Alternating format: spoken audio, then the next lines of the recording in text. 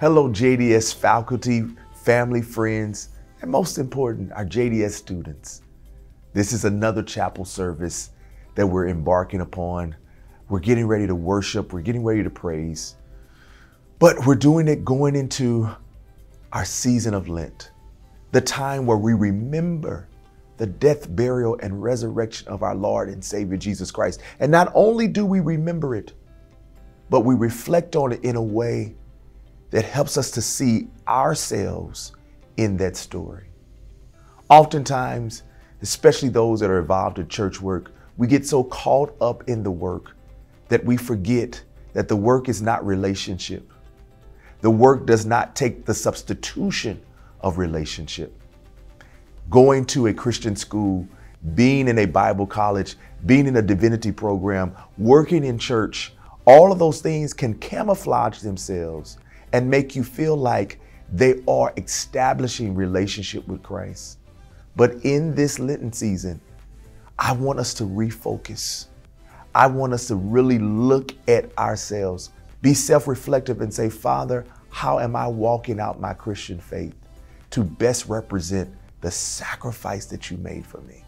As we worship, as we praise, as we sing, let us do it reflecting on all that Christ has done for us and continues to do for us. I leave you with the words of this song Draw me near, nearer, blessed Lord, to the cross where thou hast died.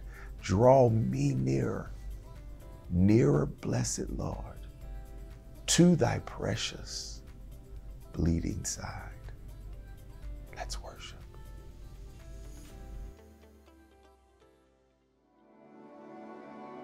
Let us pray together. Heavenly Father, we come to you today with heavy hearts. We are in need of revival and a renewal. We pray, Psalm 51, create in us a clean heart, O God, and renew a steadfast and right spirit within us. Father, cast us not away from your presence. And please don't take your Holy Spirit from us. Restore to us the joy of our salvation and a willing spirit within us. Today we pray for the kind of inner renewal that only you can give. Father, for truly you desire truth in the inward parts. Thank you for your creative power that can remake our hearts.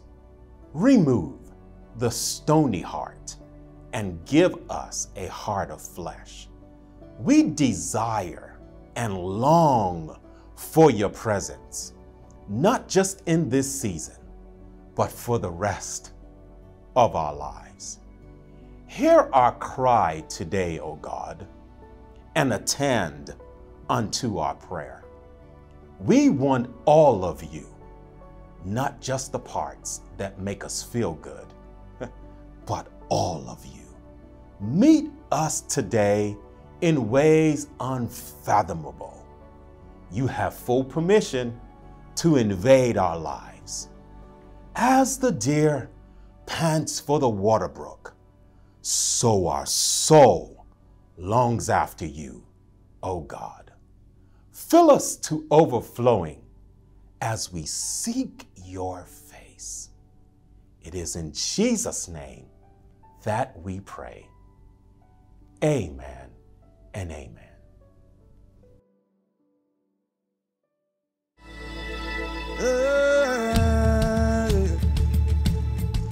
Yeah, everybody clap your hands right here. Yep. So there are some things that I shouldn't have made it out of.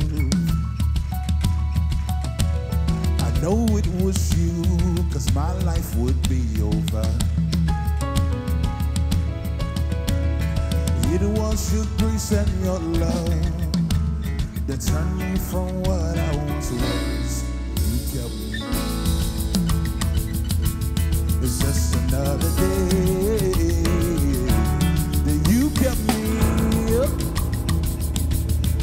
just another day. Said I was sinking deep in sin, far from the peaceful shore, very deeply stained within, sinking to rise no more.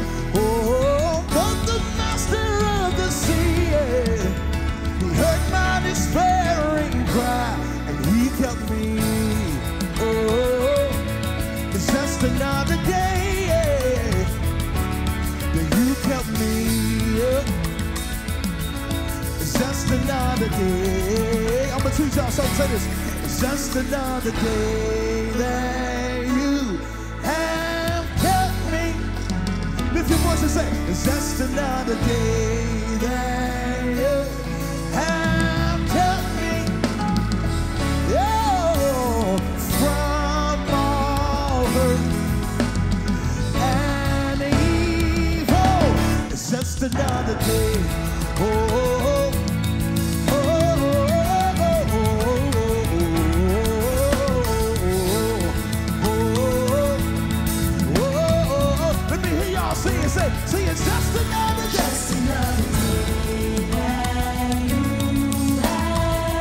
Everybody in the room say it's just another day. Yes, sir. Your voice and say from all hurt, yeah. And all evil. Has he kept anybody here from all? Testify and all evil. From all y'all say. You gotta find you some room and say this right here. See, you kept me. Oh, everybody lift your voice and say you Everybody lift your voice and say you kept me. It was nobody but Jesus that kept you and brought you this far. Say you kept me. Everybody lift your voice and say you kept me. I couldn't make it without you, see. Where would I be without the Lord? Everybody lift your voice. Say, you kept me. Everybody put their hands in. Say, you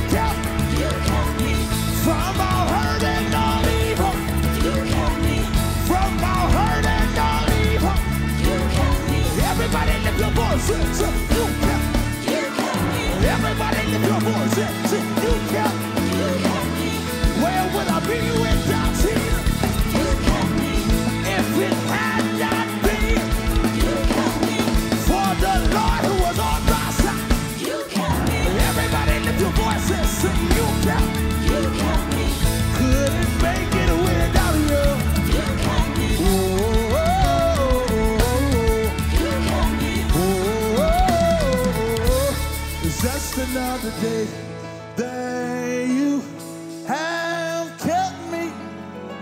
Everybody say, it's just another day.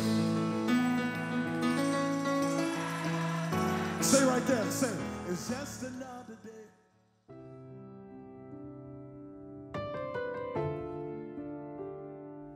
Let us pray.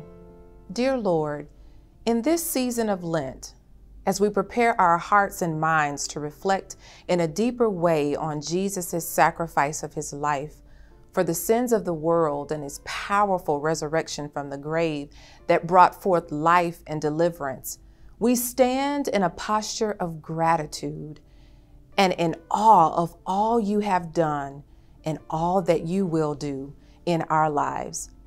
Also, during this Lenten season, we focus more deeply on prayer, fasting, and giving to the needs of others. We seek you in a more earnest and humble way concerning our need for you and your forgiveness as we self reflect and turn away from the sins that so easily misalign us with your will. We confess that these focuses should not just be for us during certain seasons, like the Lenten season, but that these spiritual disciplines of fasting, praying, giving, repenting, praising, and worshiping should be a lifestyle for us as believers. Grant us the grace, O God, to keep our souls and spirits fixed on you at all times and in every season, that our relationship with you, O Lord, would continue to grow stronger and stronger and deeper in you. In Jesus' name, amen.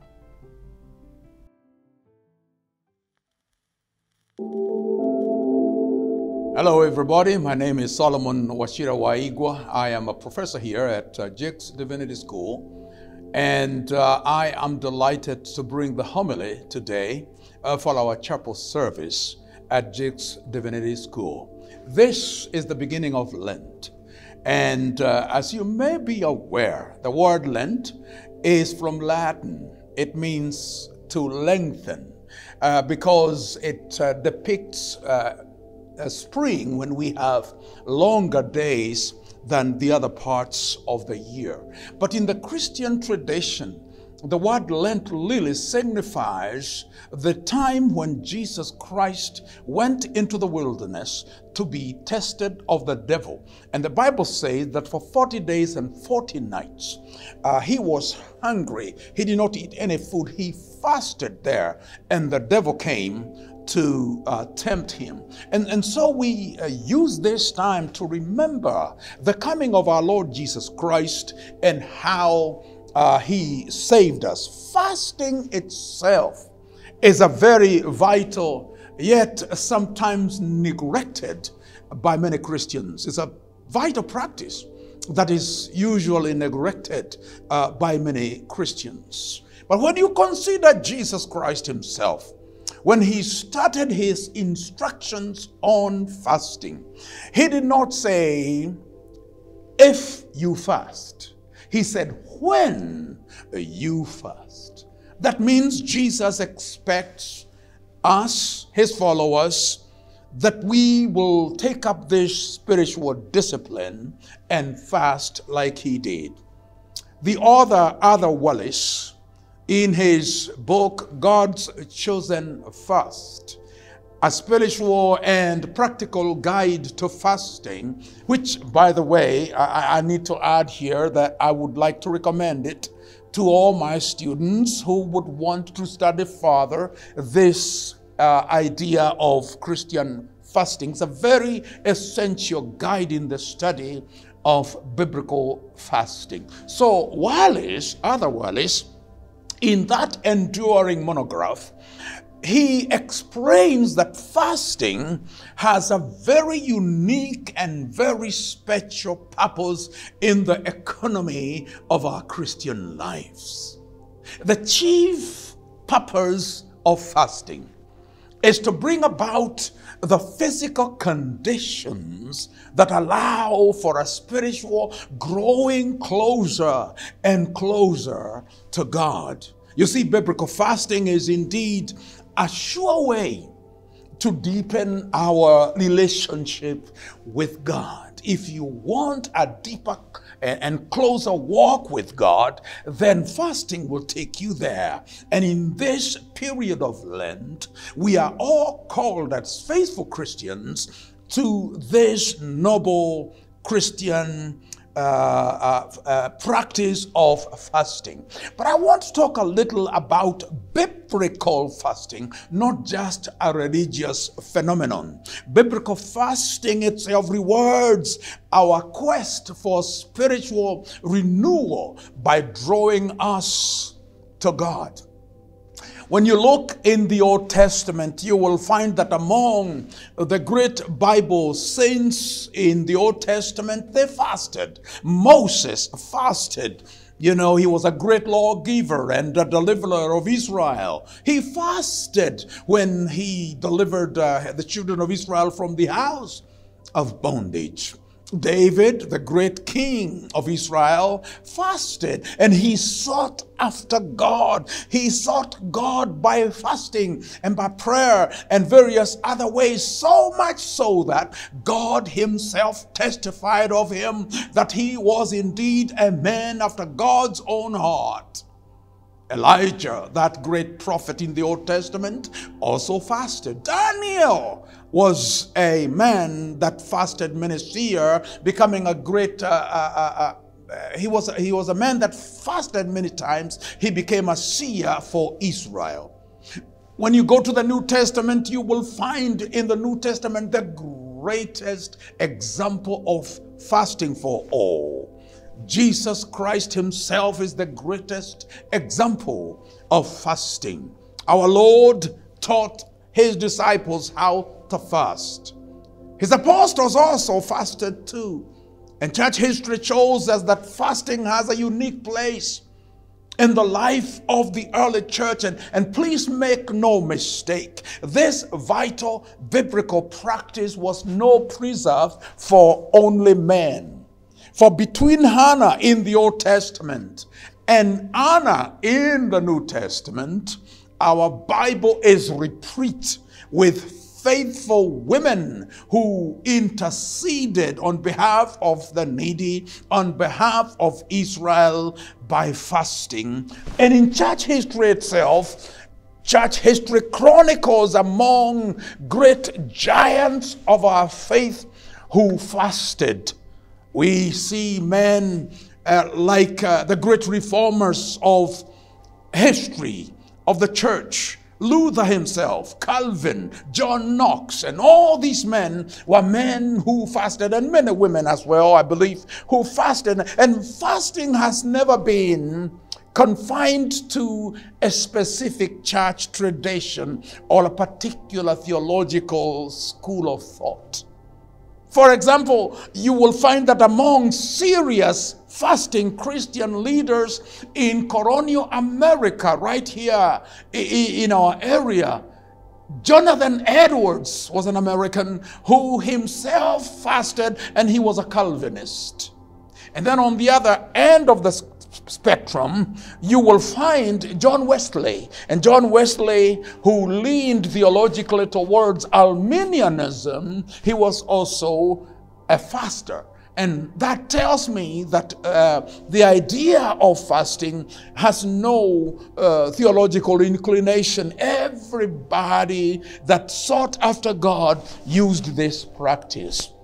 And practice that is picked up in the contemporary church, and we find that it remains even today a channel of power that you and I can adopt and practice, and it will grow us closer to God. Yet, fewer and fewer Christians today practice this spirituality practice this rite of fasting, and therefore spirituality has waned, and we see worldliness uh, uh, uh, coming towards the church, even flourishing in the church of our Lord Jesus Christ. Yet, my dear friends, yet there is hope. There is hope, there is good news, because as Wallis tells us there is a new day that is dawning in the church. And I am so elated that uh, we are celebrating that day this Lent. Uh, we are walking into a situation where the church of Jesus Christ is waking up with a new thirst and a new quest for God. The Spirit of God is beginning to awaken the slumbering church. This is a day of spiritual renewal. So, this Lent season, for us here at Jakes Divinity School, as well as in our respective ministries, we will take this season very seriously. We will take this season very seriously. We will observe God's chosen fast. We will seek to walk closer with our Lord. And in the text that we read, we read that a clean heart create for me, O God, and a steadfast spirit renew within me. Cast me not out from your presence, and your Holy Spirit take not from me. It says, Give me back the joy of your salvation, and a willing spirit sustain in me. A willing spirit sustain in me. And that's where I will wrap it up. A willing spirit sustain in me. A willing spirit you need to will to do the will of the Lord that you fast as you pray. So, in closing, we say we will lose the chains of injustice and we will untie the cords of the yoke. We will set the oppressed free. We will break every fetter of sin. We will break every chain. We will break every yoke. We will share with uh, our food with the hungry and we will provide the poor wanderer with shelter. And when we see the naked, we will clothe them and we will not turn away uh, from our own flesh and blood. For that, my friends, that that is the God's chosen fast. That, dear ones, is what we will do. That's the disposition that we will cultivate in this Lent. Heavenly Father, we come before you just seeking to do your will. Great and everlasting Father, we pray that by your Spirit, the heart cry of our fasting church will ascend to heaven. The Spirit of God, we pray, that you will begin to continue to stir us today into prayer and fasting. Help us now, even as we fast in this Lent, to lose the chains of injustice. Help us to untie the cords of every yoke. Help us to set the oppressed free. Help us to break every chain, every yoke, to share our food with the hungry, and to provide the homeless with shelter. In the name of the Father, and of the Son, and of the Holy Spirit. If you believe with me, will you say, Amen, Amen, Amen. God bless you.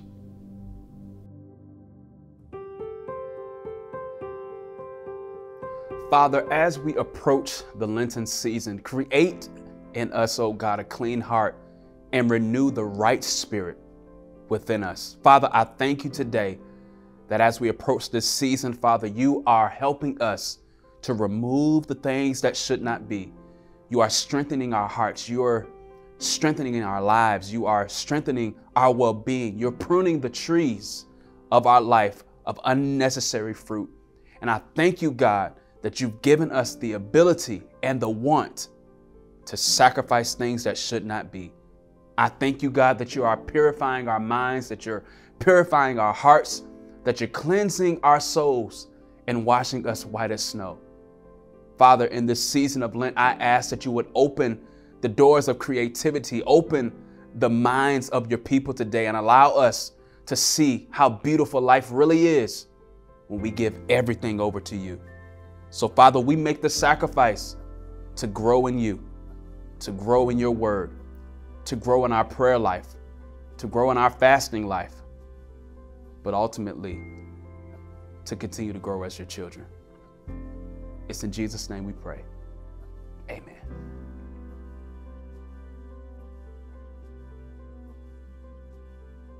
Ladies and gentlemen, I hope that you have enjoyed these segments during this Lent season, and we've been preparing our hearts for Easter. Lent is all about consecration, fasting, praying, giving, sacrificing, showing mercy. We are decreasing so that He can increase in us. And we have a time of repentance, renewal, because we're understanding what He did for us, what God did with Jesus, and Jesus giving his life for us. And during this time, we've been reading the scriptures. We've been showing grace and mercy to our brothers and sisters. Most important, probably grace and mercy to ourselves, forgiving ourselves for things that we've held over our heads that Jesus has forgiven a long time ago. That's what Lent is all about. Focusing on Him gaining a tighter perspective on who He is and what He has done and the relationship that you share with Him. You should be deeper now in Him. You should know Him greater and more than you have all year. So I want to pray for you as we close this out. Father, we thank you for this moment. We thank you for all of the time that we have spent discussing Lent, sacrifice, fasting, and prayer, the power of mercy. And here we are preparing to thrust forward even more with having gained a tighter perspective on our relationship with you, our walk with you, our love for you, and your love for us. Just keeping at the forefront of our mind who you are and what you have done. Thank you, Jesus. We give you glory and we give you praise. Love you for what you did. Nobody else could do it. Nobody else would do it, but you did. And we thank you and we give you all the glory. In your name we pray. Thank God. Amen.